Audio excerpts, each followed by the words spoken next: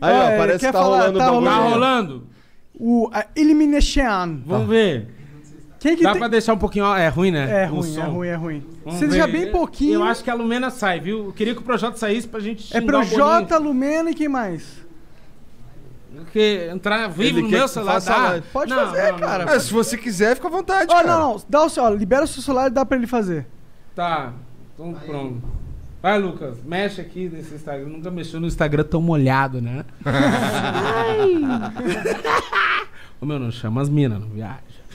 Ó, o cara com medo de entregar Tamo o celular. Pega aqui, cara, vai que Pega os contatinhos. Vai que pega os contatinhos. eu acho que a Lumena sai, viu? É? Os cílios dela tá quase pulando da cara. A Lumena é a chata militante. É.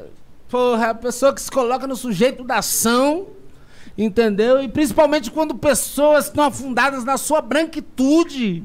É assim que. Cara, Nossa, é foda. eu via isso. É, a, sua- a minha jornada não pode ser resumida a 30 dias. Eu não consigo aceitar uma pessoa que se coloca no sujeito da ação, mergulhada numa branquitude de merda. E dentro de uma subjetividade. Porra, a Lumena saiu, cara. Saiu, é isso? cara. 61,31%. Eu sabia que não ia ser tanto, porque o Projota tá no paredão também. É. Vem a Lumena, tome nota, vulpo Ivete. Vem Caralho. pra cá. Inclusive a tua cara quando tu saiu e o Thiago falou 98,7, tu fez assim, caralho. Caralho. Por quê? Aí eu vou te explicar. Pega essa merda aqui. Palhaço. Ai, é. Quanto, meu, Então, quanto que foi o Projota aí? Alguém dá a estatística aí pra não, é gente? que não dá pra saber. Foi não 40 e poucos. Ah, é? Quarenta- foi ah, então o 30 e outro- poucos. quem que era o- Não, 30 e poucos, desculpa. 30 e poucos. Projota. E o é, Arthur? Ah, o Arthur a pessoa gosta Não, dele. não gosta muito, não. Mas é que Ele vai ele é o próximo. ele é o que não, não fede nem cheira. Não, não, ele tá fazendo Ele é planta? Ele é planta? Não, ele é bobalhão.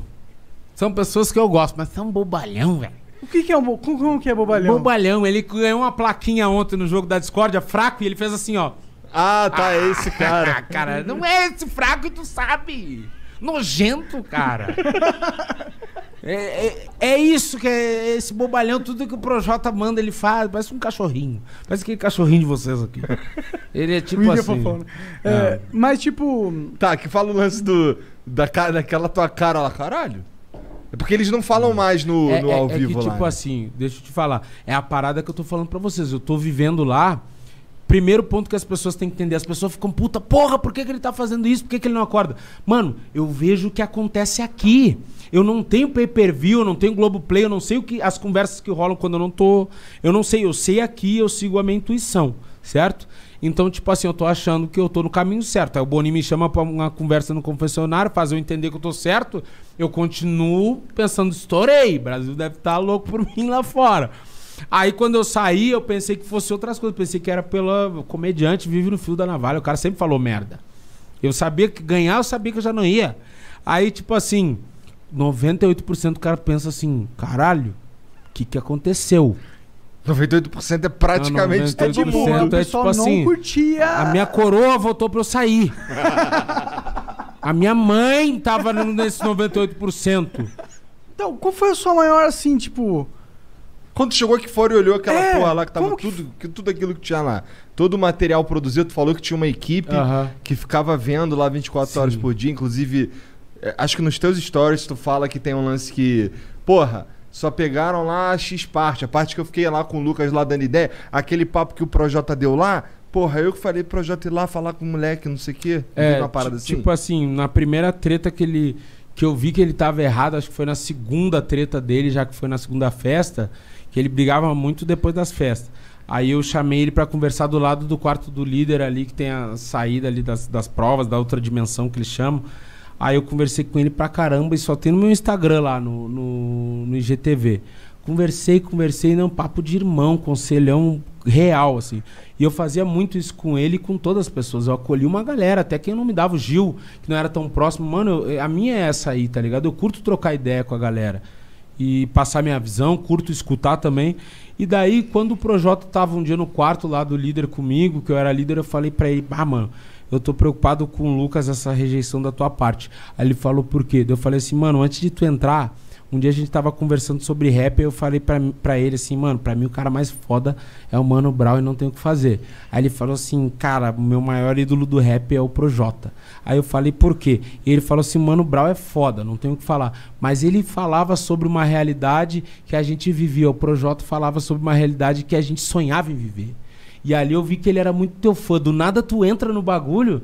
Aí imagina pra ele agora tá sendo ignorado pelo ídolo. Mano, isso ia me doer muito. Troca uma ideia com ele, acho que ele vai te ouvir diferente de mim, que sou um cara pra ele que não- daqui a pouco não represento nada, né? Então fala com ele.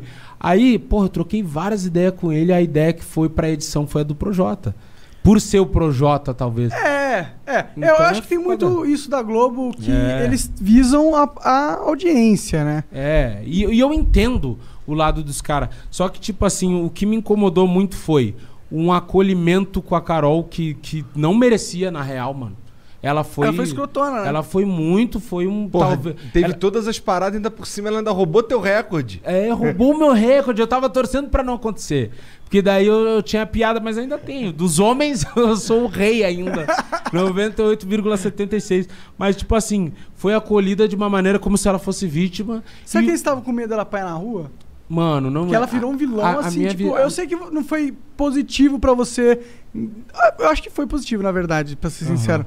Mas. Nada. Não, não. E, mas ela foi considerada a vilã. Vilã da- da história do Big Brother, do máximo, reality. É. É, E, tipo, tá, você vê aí tem uns caras que quer bater nela, tá Não, ligado? Quer matar visão, ela. A visão que eu tenho é que, tipo assim, a Carol, ela tinha alguns contratos, né? Ela tinha um programa que ela apresentava Ela no perdeu GNT. várias coisas, mais de 5 milhões, pelo Tipo, que dizem. o GNT é, um, é da Globo, né? Aham. É um programa que ela apresentava, ela já tinha participado de algumas séries da Globo, etc e tal. Ela tem um vínculo com a emissora. Esse é o primeiro ponto, Uhum. né? O segundo ponto é o seguinte, a Globo, que é o principal, a Globo não tá pensando nela, a Globo tá pensando na Globo. Por quê? A partir do momento que a Globo deixa alguém se fuder, que artista que vai querer pra- participar 2022? Então eles precisam mostrar que, tipo assim, mano, estamos acolhendo, estamos fazendo a pessoa dar uma reviravolta, vamos fazer um documentário, vamos fazer um livro. Só não seja tão escroto como ela, que é quase impossível. né? Então, tipo assim, eles estão querendo limpar a barra deles. E o terceiro ponto é que é o seguinte, ela tem uma equipe muito foda, ela tem uma grana e ela tá fazendo, ah, tipo assim, uma gestão de crise. Né? A Globo não faz nada de graça, então muitas coisas vêm da Globo e outras coisas ela com certeza está segurando financeiramente. Então é praticamente isso, só que eu achei que, tipo assim, ah, não é eu acho, eu sei que a minha família não é menos importante que a dela, minha sanidade também não. Nem sua Né, o carreira. meu trabalho, nem minha carreira, por mais que ela esteja, né, tem uma carreira consagrada, cara, minha carreira é tão importante quanto. E, tipo assim, começou a me incomodar isso. Mas eu não me incomodo com ela, deixando bem claro, porque eu acho que ela tem mais é que abraçar as oportunidades. O problema é com a emissora. E o que mais me incomodou, que fez eu começar a fazer aqueles stories e chutar o balde, foi quando eu assisti o Altas Horas e tudo que o Lucas falava, ele só tocava no nome Nego Di. Aí tu percebe que a emissora orientou o cara, não fale de Carol Conká. A pessoa que mais prejudicou o cara, mais humilhou o cara, o cara não falou do nome dela, falou do meu nome. Aí ele falou, porra, o Nego Di, me senti mal que ele disse que eu falei que que ele defendia vagabundo, né? E eu falei isso, só que ele sabe que eu não tava falando de estudante, eu não tava falando disso. Aí ele disse em altas horas, porra, tem várias mães que têm seus filhos estudantes arrancados dos seus braços.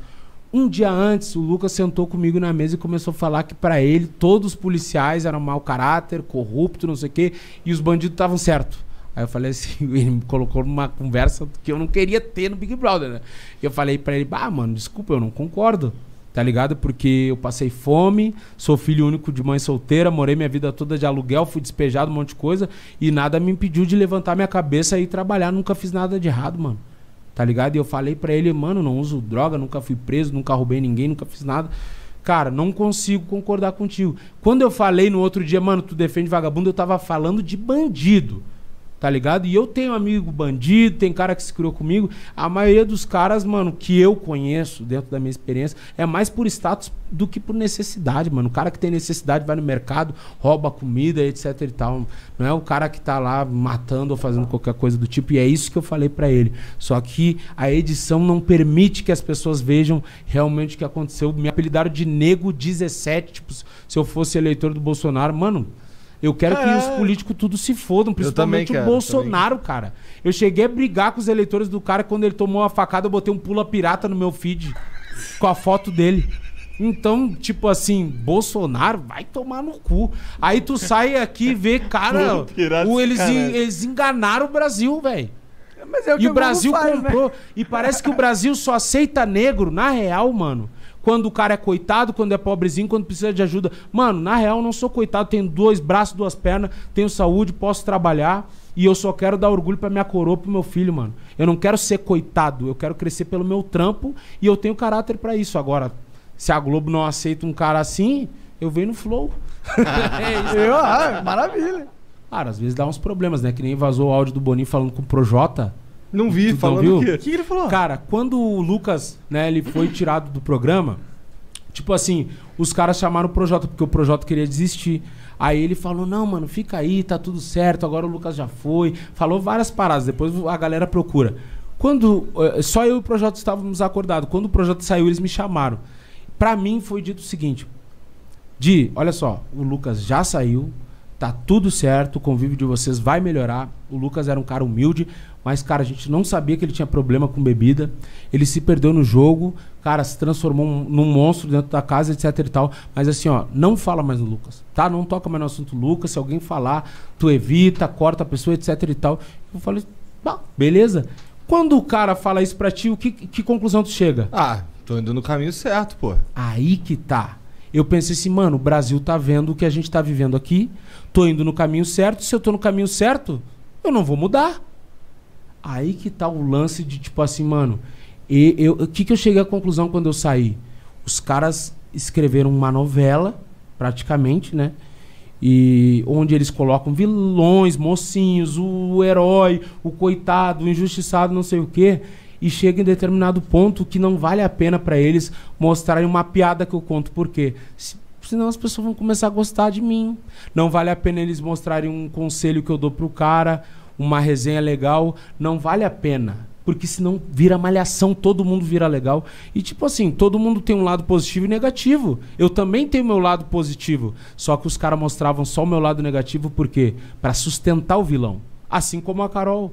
E assim como o G3. E hoje, o G3 ele tá se O que, que desmanchando. é G3, cara? G3 é a Juliette, a Sara e o Gil. G3 é tipo o G4 do Tá, Brasileirão. tá. G3. Ele tá se desmanchando e já estão começando a desenhar novos vilões dentro do jogo. Por quê? Porque tá sem graça, mano. Já saiu a Carol, mesmo. eu saí, o, a Lumena vai sair. Aí, então eles precisam desenhar novos vilões. Porque senão vira Cobra Kai, Malhação, é só amorzinho, todo mundo é legal, todo mundo se ama. E a real é que todo mundo erra e todo mundo acerta. O G3 sempre errou, sempre teve briga, sempre teve treta, só que os caras nunca mostraram. Tá ligado? E eu percebi uma coisa que é pra galera prestar atenção também, aproveitar e falar, cara, quando o Projota aparece, eu tô vendo quando a Lumena, a trilha é uma trilha mais mais fúnebre assim, mais do mal já fica no subconsciente da pessoa que eles são os errados da situação. E quando aparece o G3 é bagulho circense. Tudo é engraçado, até quando eles erram. Entende? Onde tá. Não, a- com certeza. A O- dita manipulação que a galera fala. Eles não têm como controlar o que a gente faz e fala, mas eles têm como, tipo assim, ó, desenhar o jogo. E, tipo assim, tu também. Eu acho que seu argumento é a Globo vai é, manipular o Big Brother pros desejos dela, seja audiência. Claro. Eu acho que é audiência, primeiramente, porque acho que a Globo é uma máquina de dinheiro ali pros caras. E eles Tá. querem só fazer o programa bombar mais e mais. E eu acho que se o argumento é esse, eu concordo, tá ligado? Não tem muito como discutir nesse sentido.